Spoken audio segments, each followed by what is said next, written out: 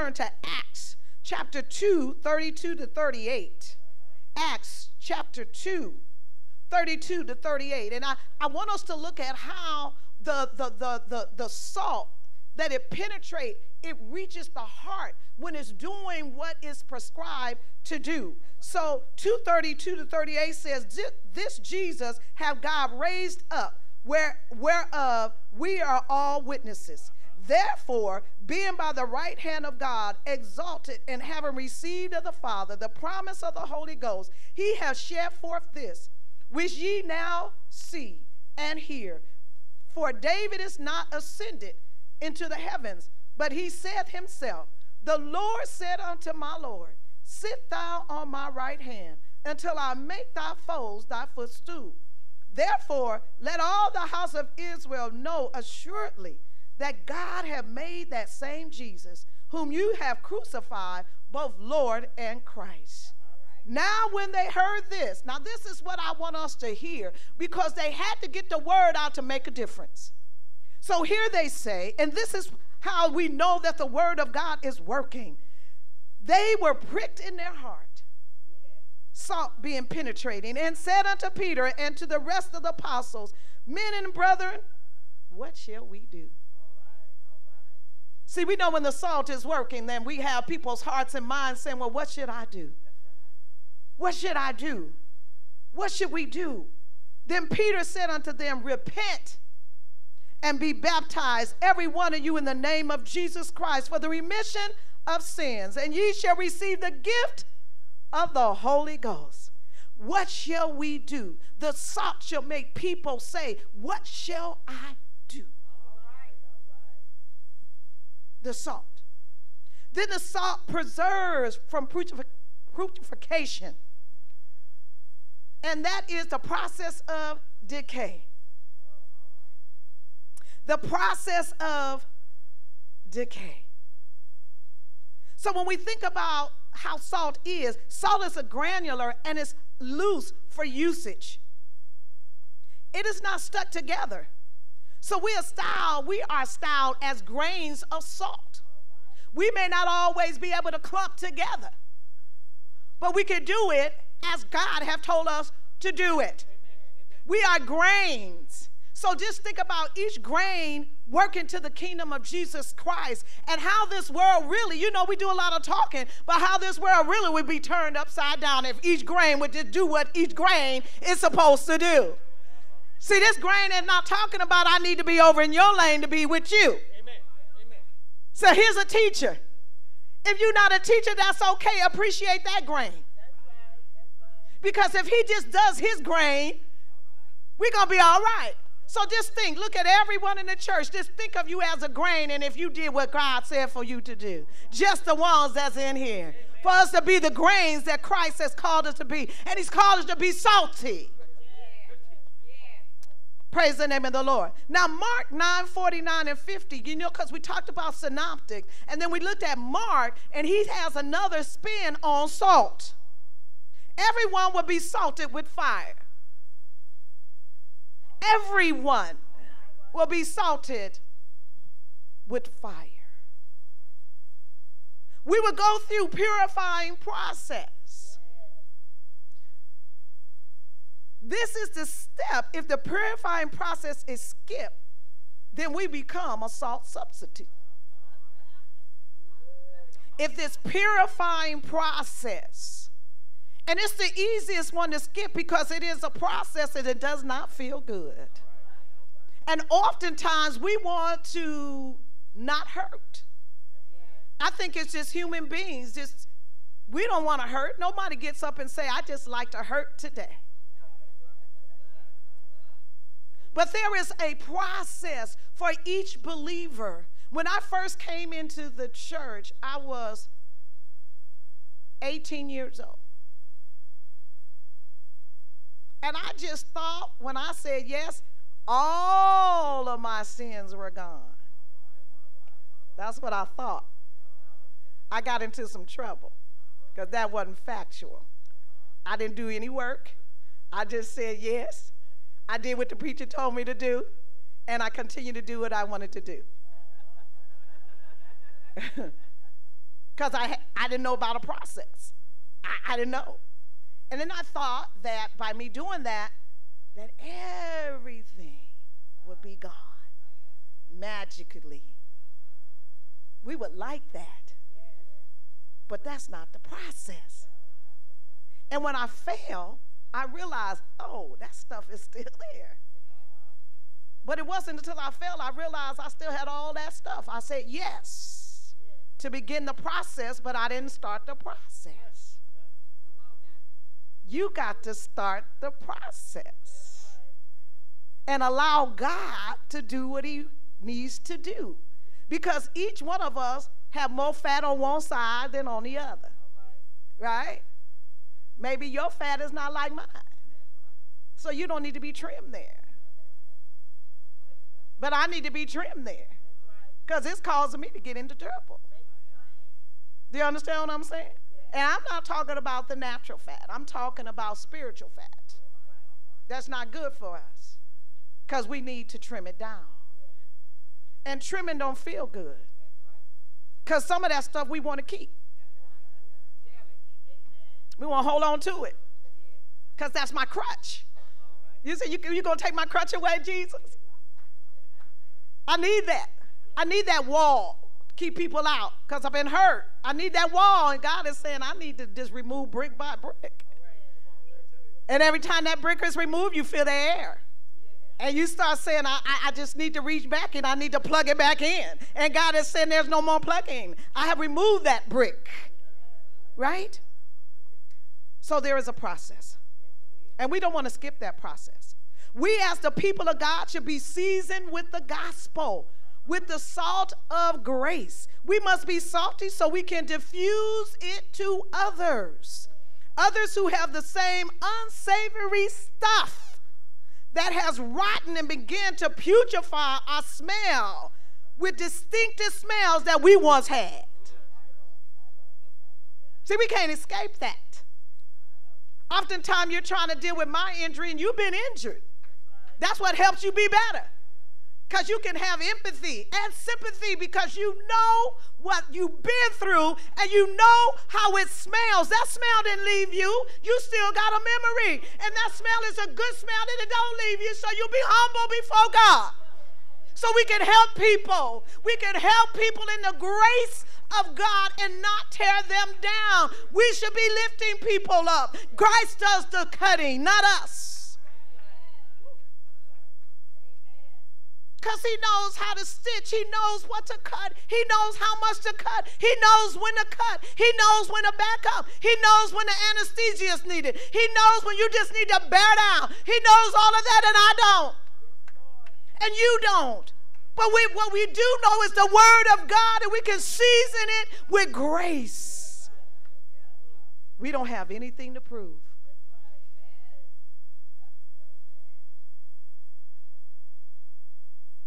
we want to make sure that we're reaching out.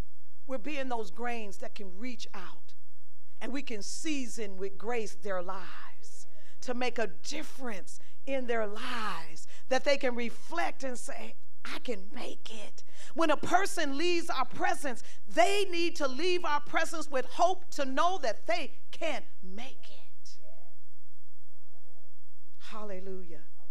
But if the salt loses its saltiness, most of the salt used in Israel, that's why God used, Jesus Christ used the salt analogy or the metaphor because they knew of the salt, because their salt, their main salt, came from the Dead Sea. And the Dead Sea was few, full of impurities. Can you think about that? We were once dead seas, full of impurities.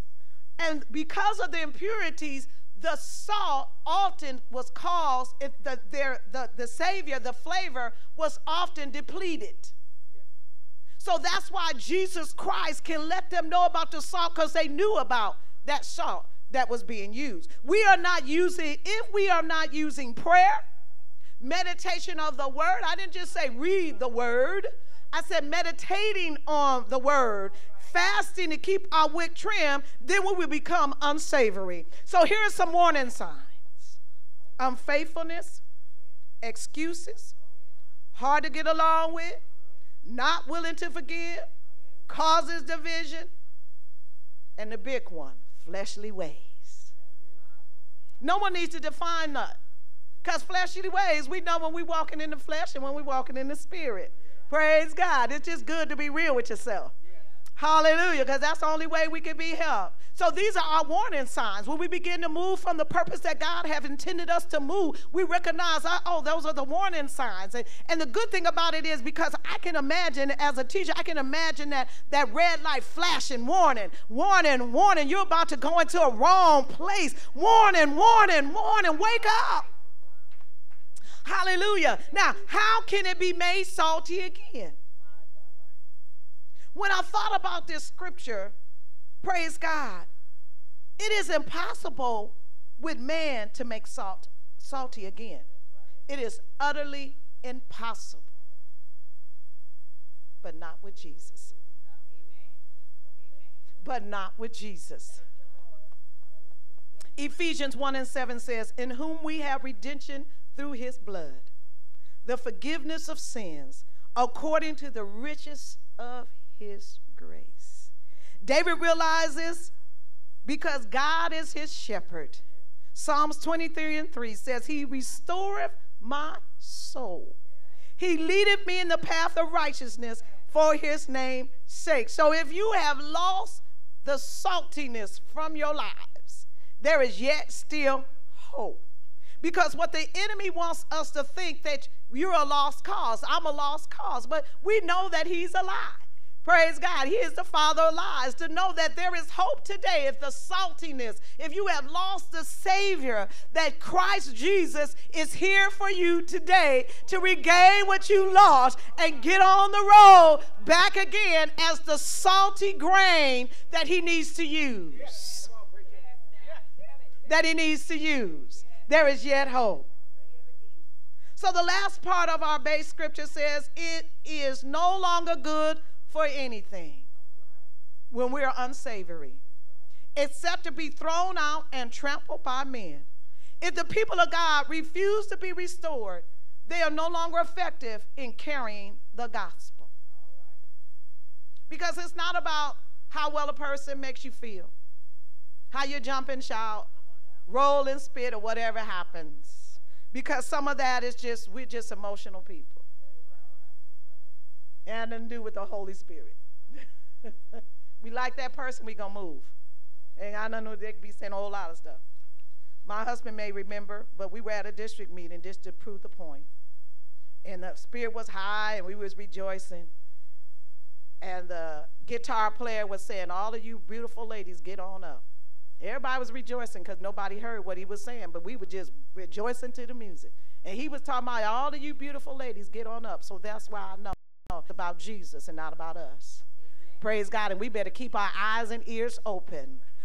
Praise God, because there's a difference when the Spirit of the Lord is high and when there's just a lot of emotionalism. Yeah, yeah, yeah. Praise God. It's easy to get with somebody you like, but you better be listening to the Word of God to make sure that person is approved of what the Jesus is saying. Praise God. Not just because of a friendship, because that friend could be off, because sometimes we all get some off times. Is that right? And we all need to be brought in. But if you're not listening, you just say, I'm your friend, I'm, we both to be off. So we don't want to do that. We want to hear the word of God. Praise God. So our salt content determines our obedience. And that brings in our second scripture, John 13, 34 through 35. So prior to Jesus going to the cross, he began to speak to his disciples to prepare them in his departure. So this is where he comes in with this scripture. And he wants to validate and make it firm for them. And he lets them know 34 says, A new commandment I give unto you, that ye love one another. That ye love one another as I have loved you. That ye also love one another. But this shall all men know that ye are my disciples if ye love one to another. Now there's eight different types of love. But the love only that we can do this is is by the agape love. We can't do it any other way. Praise God, any other way. There's been even in my own family, there's some brokenness. And you say, Oh God, the love. We break up over stuff. Oh my God. Stuff that will decay and rot, and you'll get something else. Praise God. I was talking to my cousin just the other day, and, and people just, they, you don't even know who they are when somebody leaves here. They scoping to see what they can get. But that's not the type of love. And that song that we used to sing, Give Me My Flowers While I Live, that love, that love that will forgive me, that type of love. So, this agape love is a selfless love, it's the highest and most radical love. This love of how you forgive when you said, I'll never talk to him or her again in my life. But this is that love that it takes. It can't take that love if you do me, I do you. If you don't do me, then I won't do you. See, this love takes out all the slogans that people have about the reconnection and the restore restoration that we need for one another. Because if I cannot love, then I don't have that agape love that Christ is telling them and recommending to his disciples. It is an unconditional love, and it's truly a love bigger than ourselves. It's bigger than ourselves. As Sister Henry said, you think you say you're not going to you're not going to connect with them again, you're not going to help them again, but because of that agape love down on the down on the inside that you can't escape for if you really love Jesus, you got to grit and bear it. You don't like it. Love don't say I'm going to like what I need to do but my inward man is pulling me to righteousness. And you do it. Even if you rehearse to yourself what you're not going to do. And if they come again, and what I'm gonna give. And then Jesus, when he, they come into your presence, something changes, and you begin to do stuff that you said you would never do. It's boundless. How could you say how much love? How can you put a measure on love? So you can put a measure on all the other types of love, but you can't put a measure on agape love. You can't say how far you'll go because you'll find yourself going to the hill. I'm going to tell you, my mother was the symbol of love. When I think about my mother, oh my God, she loved when my brother came that she knew not about with my daddy. She loved him, and nobody could say that Leland was not her child. She loved people from the street, from the alley. She would give them whatever she had. She loved. Now, a lot of us go to the nail shops and things, and we know the mannerism of where we go. When my mother was ill, the person that did her nails would not let me even put her in the car. He loved my mother. But what he really loved was the love of Christ that she had deep down inside. She let us know don't be angry for long at people. Don't do that. And people, do you know sometimes when you love the agape love, you might feel like you abused even more because people feel like they can get over on you. You just don't worry about any of that because we don't know when the hour coming. We want to be loved. We want to make sure we get that agape love. Because people feel like, well, you know, they don't, but we know because the Spirit of Christ revealed it to us. It's free from desires and expectations. It doesn't love because you give me something. It loves when you don't have anything to give, I, we can still yet love. That's the agape love.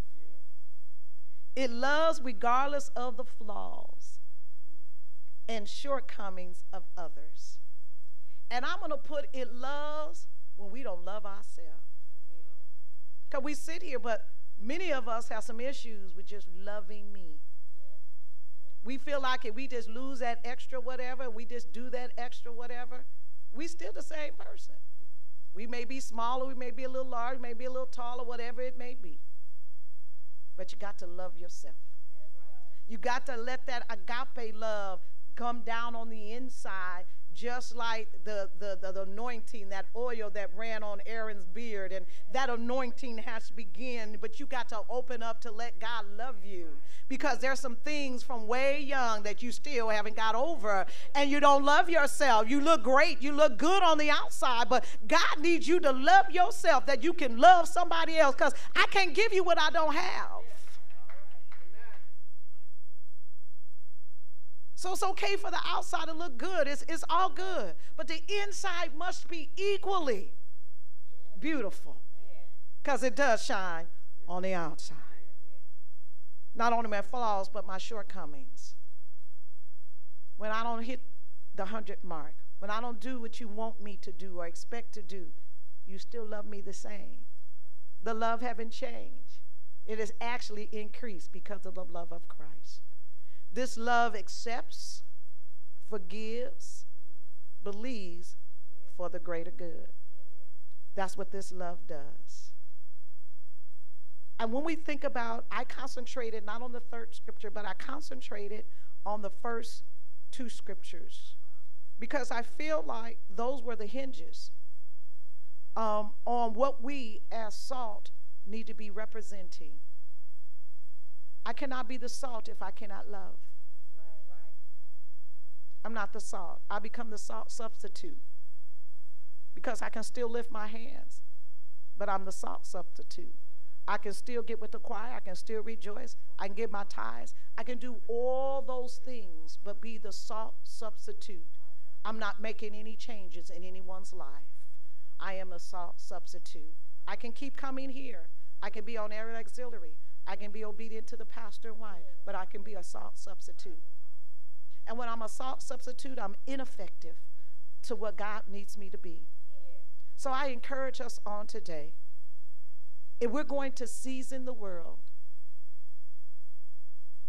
we want to make sure that we remain salty. That we're making sure that we're the grain and we're perfecting that grain, your grain, that we can give God the glory. Let's stand. We can give God the glory. We can give God the glory. We can give God the glory. We can give God the glory. We can give God the glory. Hallelujah. We can give God the glory. We can give God the glory. Hallelujah. Hallelujah. Hallelujah for the great things that he have done. It is that time. We're going to ask for the altar workers to come. Hallelujah.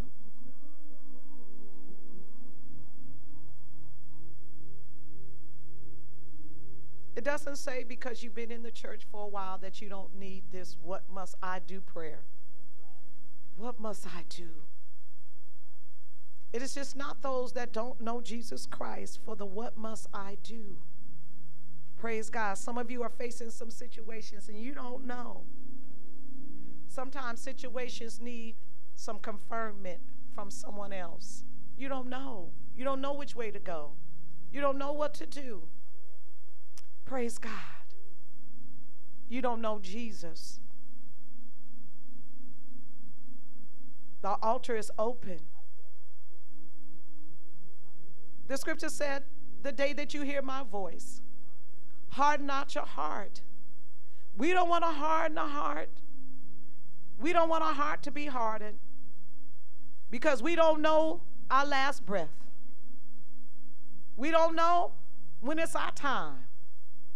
But what we do know that if we're ready, if we're ready, that's what Jesus wants us to be. Ready. Don't deny the opportunity. At this time, we're asking you to come. Those of you who need that prayer, you're sick in your body. You're praying in proxy for someone else. Come. You need to rededicate your lives. Come. Oh God. Your children, other things are going on and you just need prayer, come. You're standing for your children. You're standing for your child. Come. Hallelujah. Hallelujah. Hallelujah. Hallelujah. There's a need. There's a need. There's a need. There's a need for your health. There's a need. There's a need. There's a need. There's a need. There's a need. There's a need. There's a need. Hallelujah. Oh, oh God, there's a need. There's a need. Oh God, there's a need. Hallelujah. Jesus can meet that need. We are here to pray with you. But it's Jesus and your faith connected that's going to meet that need.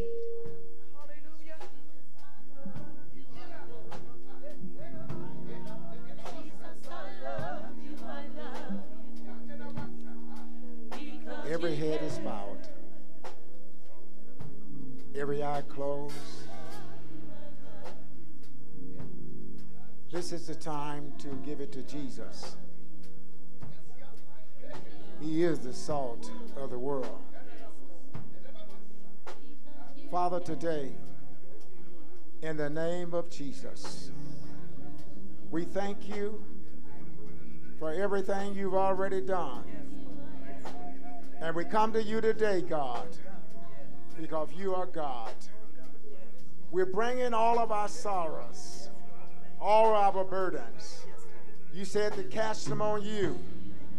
And Father, today and this morning, as the altar, God, is filled with prayers of righteousness, touch these that have come, lift heavy burdens, pull down strongholds Break the power of the enemy. Let your word have a free course, God. That the salt, God, will season the world. That they would be, burden will be lifted, stronghold will be broken. And the anointing, God, will destroy every yoke. Give peace now. Give peace. Open doors. Make ways out of no ways. Heal the sick, God. Heal the mentally sick. In the name of Jesus.